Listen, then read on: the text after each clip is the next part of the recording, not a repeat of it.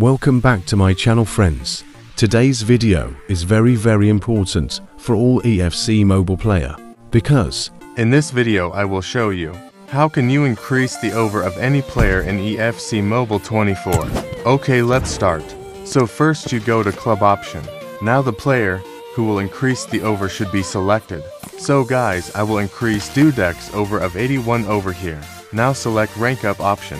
But friends, to rank up the player here, you must have the player card of the same over. There is no rank up card as before. Now you have to select any card, then select rank up option. now select confirm option.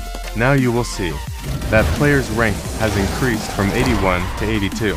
If you want, you can rank up this way very easily.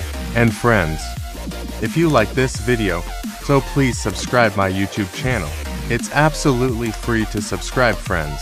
Okay friends today's video is this. See you next video.